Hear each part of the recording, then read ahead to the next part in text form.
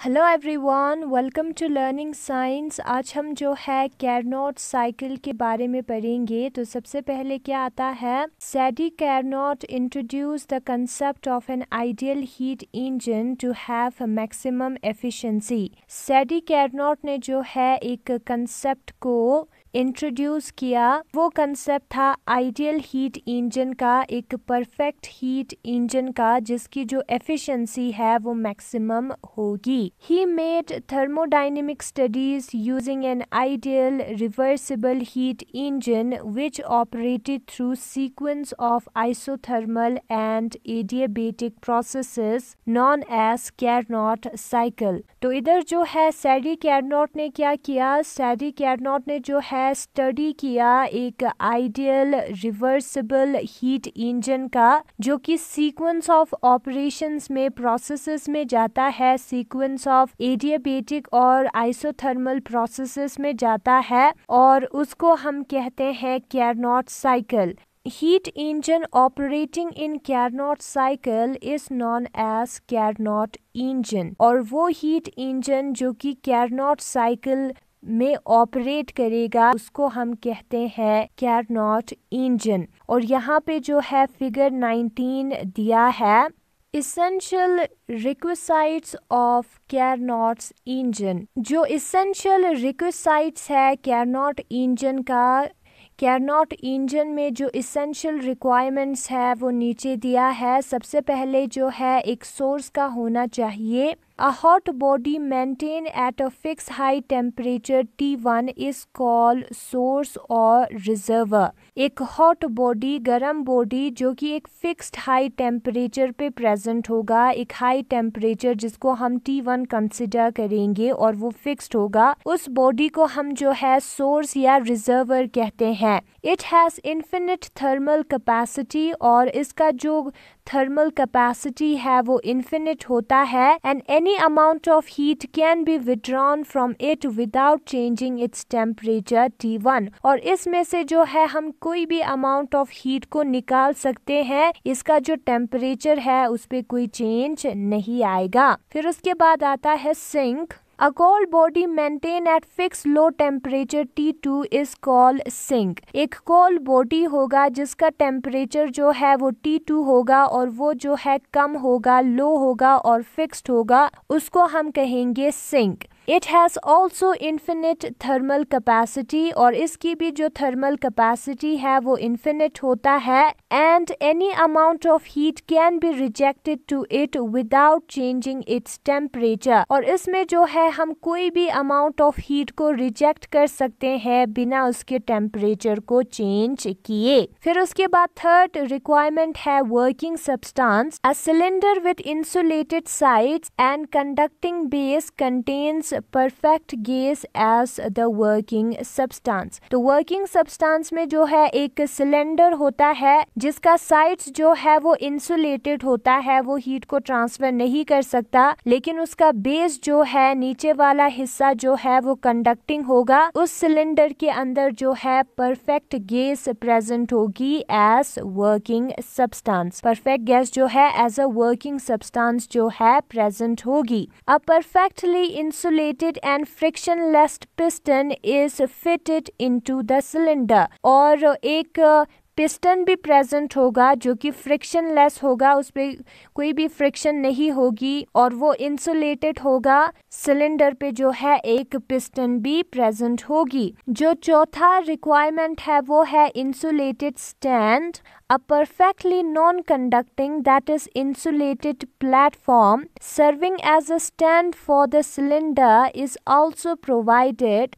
so that the working substance can undergo adiabatic operation. एक insulated stand भी आता है, जो कि परफेक्टली नॉन कंडक्टिंग है, यानी कि इंसुलेटेड प्लेटफॉर्म है। और वो एज अ स्टैंड स्टैंड में जहाँ पे हम कोई चीज़ को रखेंगे सिलेंडर को रखेंगे एज अ हम स्टैंड यूज़ करते हैं ऑफ़ द सिलेंडर और ये क्या करता है, ये वर्किंग सब्सटेंस को एडियाबेटिक ऑपरेशन में जाने में, जाने देता है, जाने में हेल्प करता है। तो ये चार चीज़ें जो है, वो होना चाहिए एक कैरनॉर्स इंजन में। These components are shown in figure 19 और ये जो कॉम्पोनेंट्स है वो फिगर 19 में दिया है जो कि हमने अभी देखा था।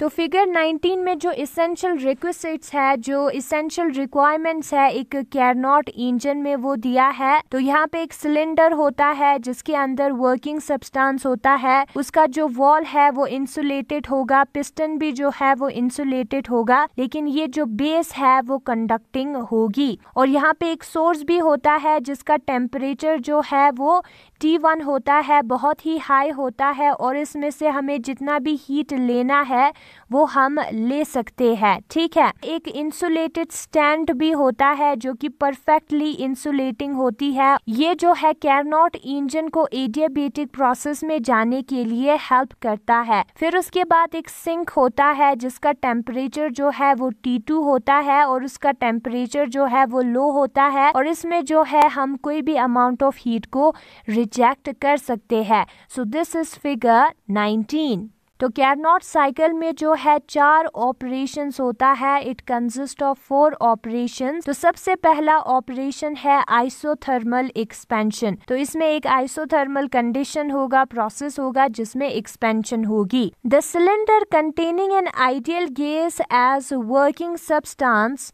having pressure P1 and volume V1 is placed over the source at temperature T1. अब यहाँ पे क्या होगा जो सिलेंडर है, जिसके अंदर जो है आइडियल गैस प्रेजेंट है एज अ वर्किंग सब्सटेंस और उसकी जो प्रेशर है वो P1 है, और वॉल्यूम जो है वो V1 है, उसको हम सोर्स पे रखेंगे, जिसका टेम्परेचर जो है वो T1 है The working substance also attains temperature T1 और वो जो है सिंह से हीट को अब्जॉर्ब करके खुद का भी टेम्परेचर जो है T1 बना लेगा working substance let the state of the working substance is represented by point A in figure 20 और उस स्टेट को हम पॉइंट ए से डिनोट करेंगे जो कि फिगर 20 में दिया है.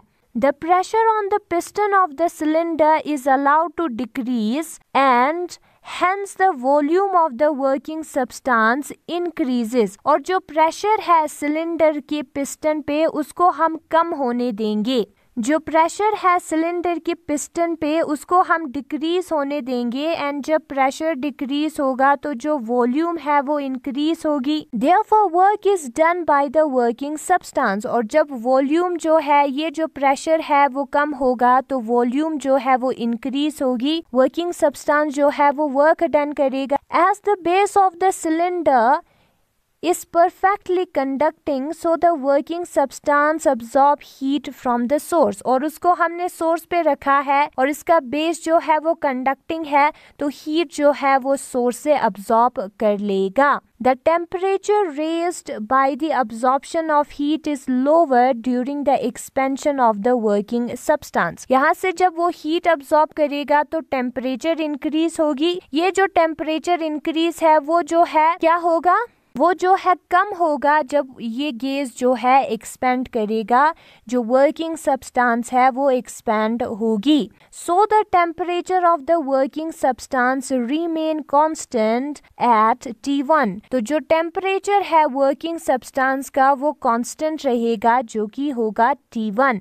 thus the process is isothermal और जब टेम्परेचर कॉन्स्टेंट होती है, तब जो प्रोसेस है, वो आइसोथर्मल होती है। In this process work done is equal to the amount of heat absorb और इस प्रोसेस में जो वर्क डन है, वो बराबर होगा अमाउंट ऑफ़ हीट अब्जॉर्ब के। Heat absorb and the volume of working substance changes from V one to V two and pressure changes from P one to P two और हम suppose करते हैं कि जो Q1 अमाउंट ऑफ़ हीट है वो absorb हुआ है, जिसकी वजह से जो वर्किंग सब्सटेंस का वॉल्यूम है वो V1 से V2 तक पहुँचा है और जो प्रेशर है वो P1 से P2 तक पहुँचा है। The final stage of the working substance is represented by point B तो जो फाइनल स्टेट है वो पॉइंट बी रिप्रेजेंट करेगा ऑफ़ द पीवी डायग्राम जो कि फिगर 20 में जो है पीवी डायग्राम दिया है। Now work done during isothermal process is given by जो वर्क डन होगा उसको हम W1 कहेंगे। आइसोथर्मल प्रोसेस में वो जो है उसका फॉर्मूला जो है वो ये वाला हिस्सा होता है, हमें पता है, ये हमने किया है। Integration from V1 to V2 PdV is equal to R T one log of e V two upon V one के बराबर होता है और वो जो है हीट अब्जॉर्ब के बराबर होगा हमने किया है और ये जो है इक्वेशन नंबर फ़र्स्ट है। तो यहाँ पे सबसे पहले ये वाला जो कर्व है दिस कर्व इसके बारे में कहा गया है। सबसे पहले पॉइंट ए पे होगा और जो सिलेंडर है, उसका प्रेशर होगा P1 और इसका जो वॉल्यूम है वो होगा V1 गैस का, ठीक है? और टेम्परेचर जो है वो सिंक पे बैठ के, सिंक के बराबर का टेम्परेचर जो है उसका बन गया होगा।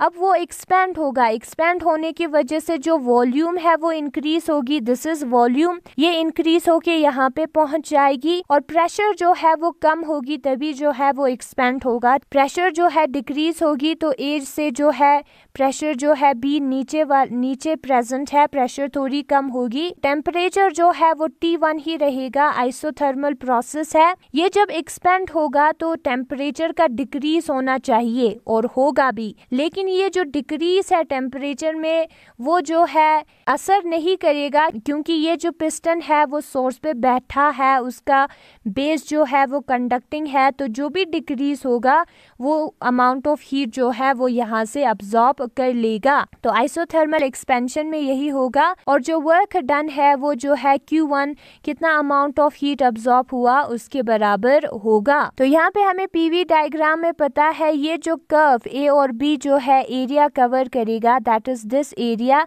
ये जो है area A B R P this is A this is B this is R and this is P ये एरिया जो है वो अमाउंट ऑफ़ वर्क डन है और उसको हम इक्वेशन नंबर फ़र्स्ट कंसिडर करेंगे। तो कैरनॉट साइकिल में फ़र्स्ट ऑपरेशन होगा आइसोथर्मल एक्सपेंशन उसके बाद जो दूसरा ऑपरेशन है वो है adiabatic expansion now the cylinder is placed on the insulated stand cylinder को पहले हमने सोर्स पे रखा था।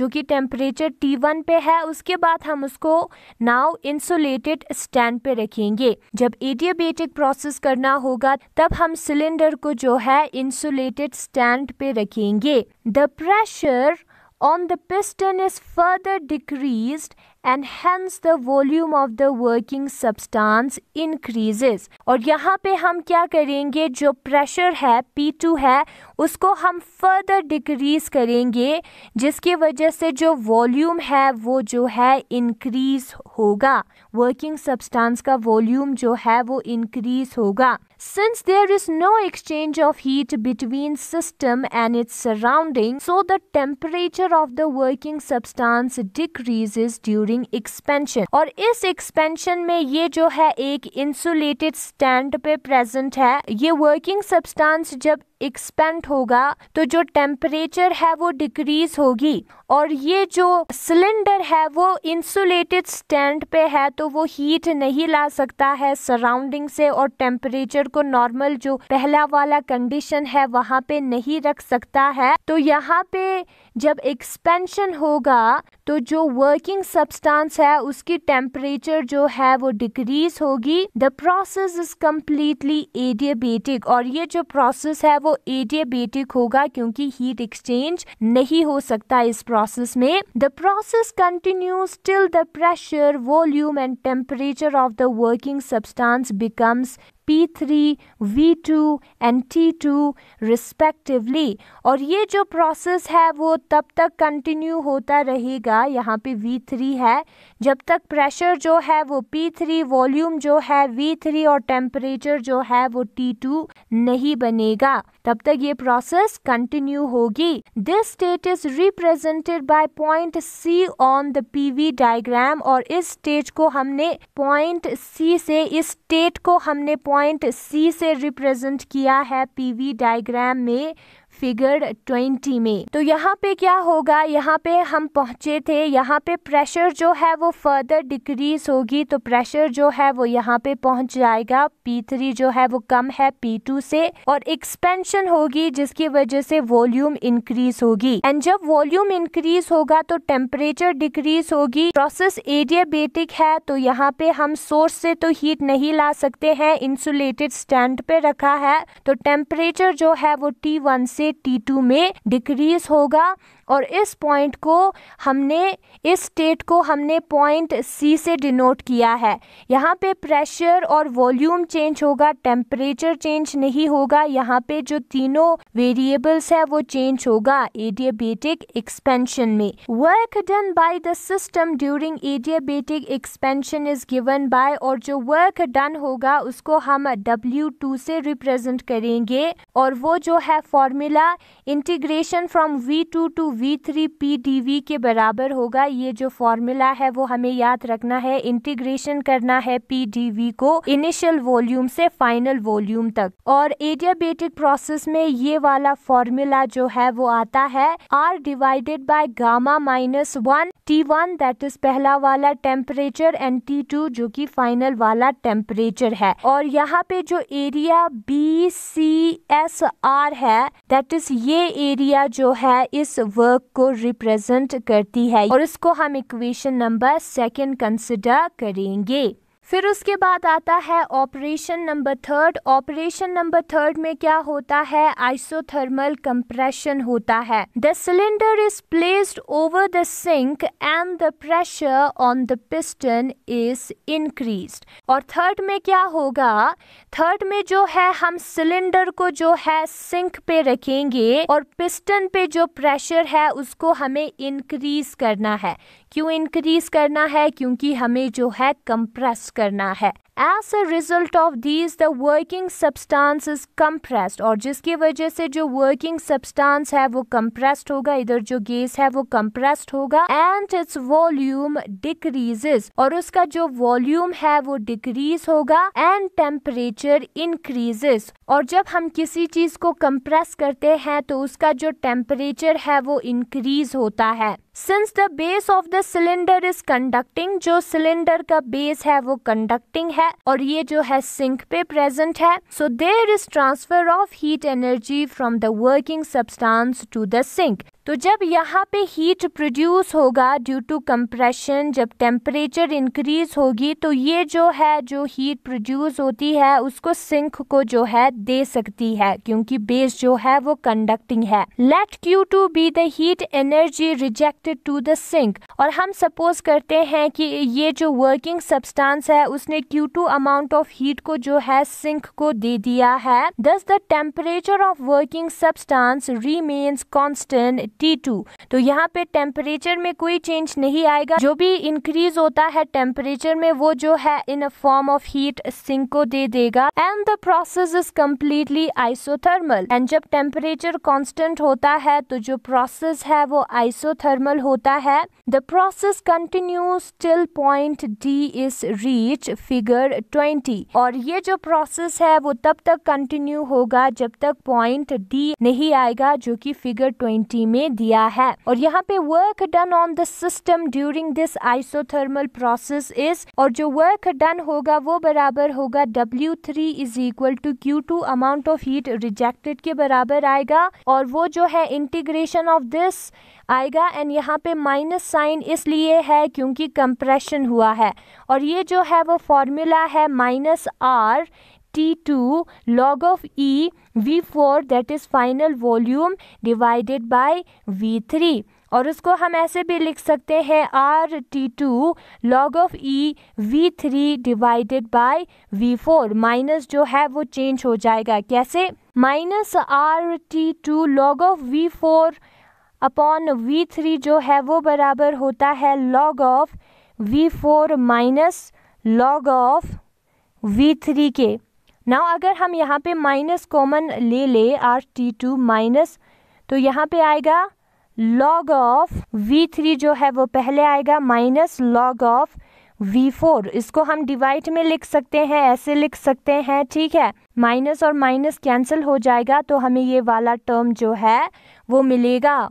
और area C D Q S के बराबर जो है वो आता है। According to sign convention work done on the system is taken as negative और यहाँ पे नेगेटिव क्यों लिया है? क्योंकि work is done on the system और साइन कन्वेंशन के मुताबिक जो work done on the system है, उसको हम नेगेटिव लेते हैं। तो हम जो है यहाँ पे पहुँचे थे इधर क्या होगा? जो प्रेशर है वो इंक्रीज होगी क्योंकि कंप्रेशन हुआ है तो पी फोर जो है वो ग्रेटर होगा। P3 से यहाँ पे हम देख सकते हैं। और वॉल्यूम जो है वो डिक्रीज होगी तो बैकवर्ड डायरेक्शन में आ जाएगा। This is increase in volume and this is decrease in volume और टेम्परेचर जो है वो टी टू ही रहेगा, क्योंकि प्रोसेस जो है वो आइसोथर्मल है सिंक को वो जो है चेंज इन टेम्परेचर दे देता है। तो ये वाला कर्व जो है वो आइसोथर्मल कंप्रेशन का कर्व है और ये जो एरिया कवर करेगा दैट इज़ दिस एरिया वो जो है वर्क डन के बराबर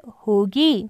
फिर उसके बाद आता है ऑपरेशन फोर ऑपरेशन फोर है एडियाबेटिक कंप्रेशन एडियाबेटिक कंप्रेशन में क्या होगा? Finally the cylinder is placed on the insulated stand अब हम सिलेंडर को जो है इंसुलेटेड स्टैंड पे रखेंगे.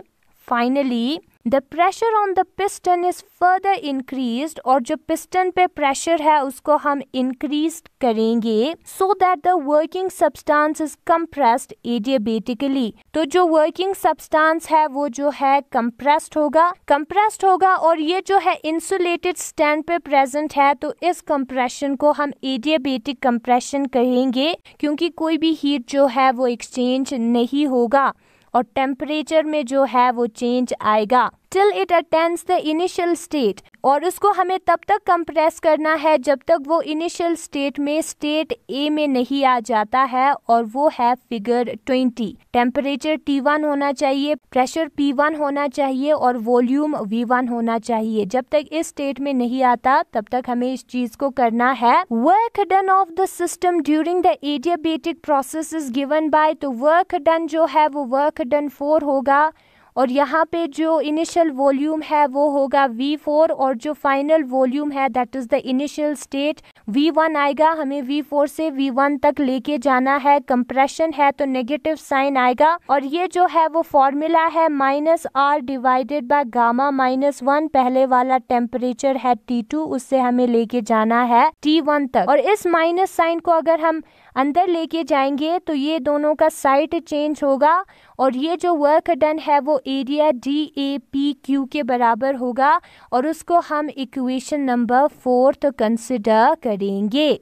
तो ये हमारा है एडियाबेटिक कंप्रेशन इस स्टेट से हमें इस स्टेट तक लेके जाना है। कंप्रेशन है तो प्रेशर जो है वो इंक्रीज होगा। वॉल्यूम जो है वो डिक्रीज होगा। यहाँ पे डिक्रीज हुआ है। और टेम्परेचर जो है वो इंक्रीज होके पहले वाले टेम्परेचर पे आ जाएगा। ये जो कर्व है वो एडियाबेटिक कंप्रेशन को रिप्रेजेंट करता है और इसके अंदर जो एरिया होगा वो होगा एडियाबेटिक वर्क डन के डब्ल्यू फोर के जो है बराबर होगा।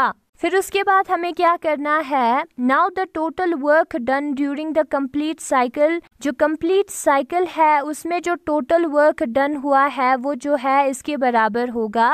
W is equal to W one plus W two plus minus W three plus minus W four and since W2 two is equal to W4 जो W2 और W4 जो है वो बराबर आता है देयरफॉर ये और ये जो है वो कैंसिल हो जाएगा। W हमारा बराबर आएगा W1 वन माइनस डब्ल्यू के that is the area A B C D के। ये हमारा W4 है that is R divided by gamma minus one T one minus T two और ये हमारा डब्ल्यू टू है that is R divided by gamma minus one T one minus T two ये दोनों सेम है। ये दोनों एक्सपेंशन का वर्क डन है और ये दोनों कंप्रेशन का है तो यहाँ पे आएगा नेगेटिव और W जो है, वो बराबर आएगा W one minus W three के that is the area A B C D के बराबर जो है, आएगा। तो W one minus W three के बराबर आता है, जो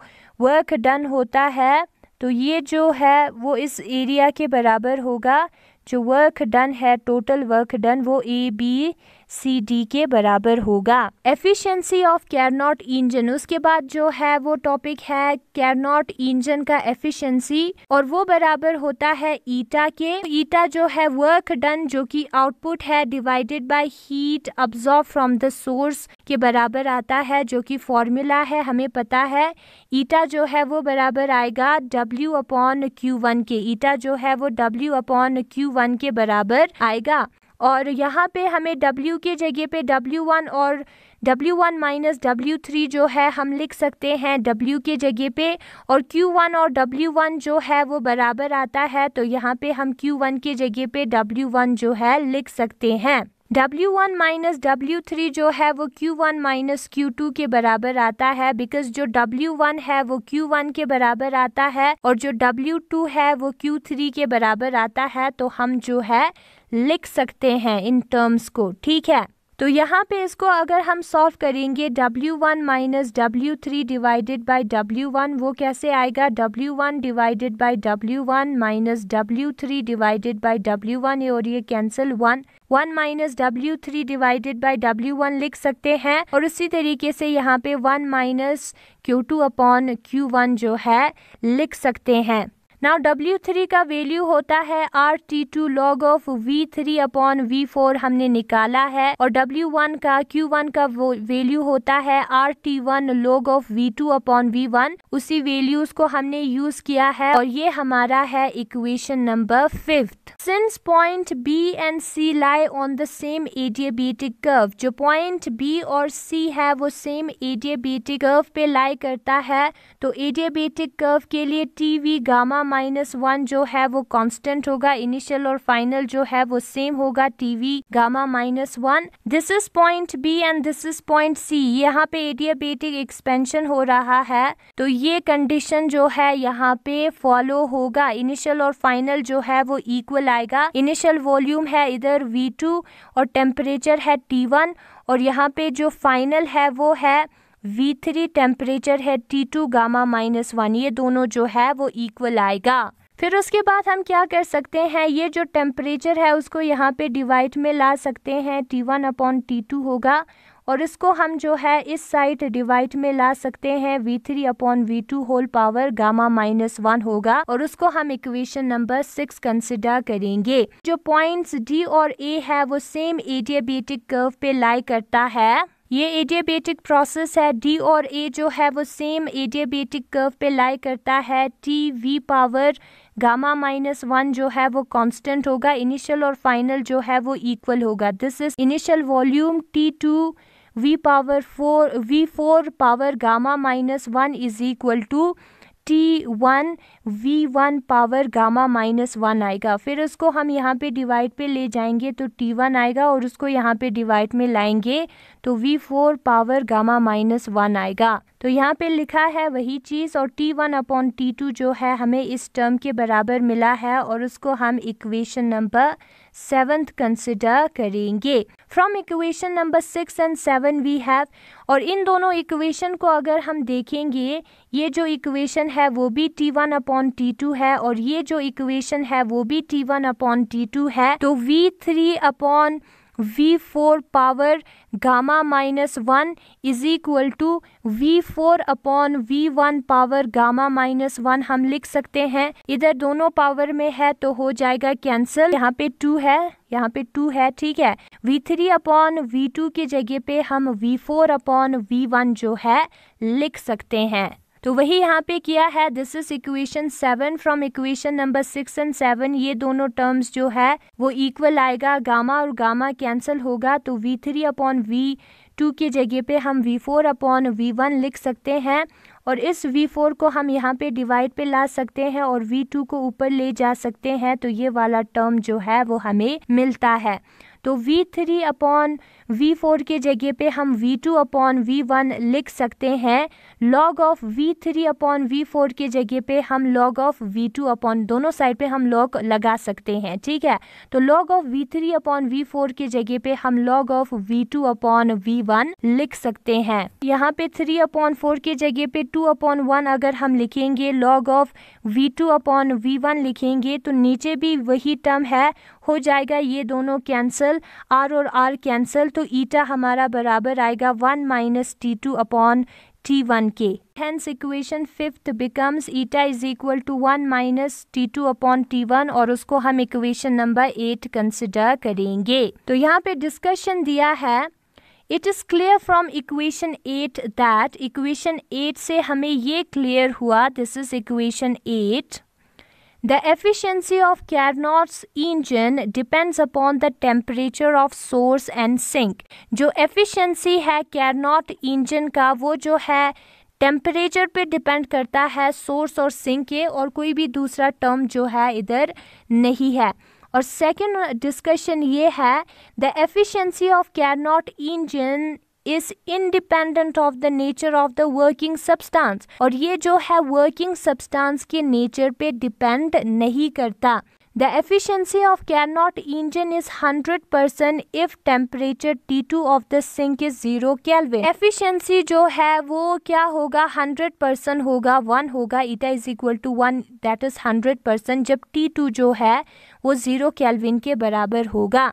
Since we can not have a sink at absolute zero लेकिन हम जो है एक सिंक को एब्सोल्यूट ज़ीरो पे नहीं ला सकते क्योंकि वो करना इम्पॉसिबल है. It is impossible to achieve zero kelvin so heat engine with hundred percent efficiency is not possible to realise in practice तो जो हीट इंजन जिसकी एफिशिएंसी जो है हंड्रेड परसेंट होगी, वो जो है रियल प्रैक्टिस में ऑब्ज़र्व करना रियल प्रैक्टिस में लाना जो है, वो इम्पॉसिबल है पॉसिबल नहीं है. अगर आपको ये वीडियो पसंद आया तो लर्निंग साइंस को सब्सक्राइब करें, इस वीडियो को लाइक करें। Thanks for watching.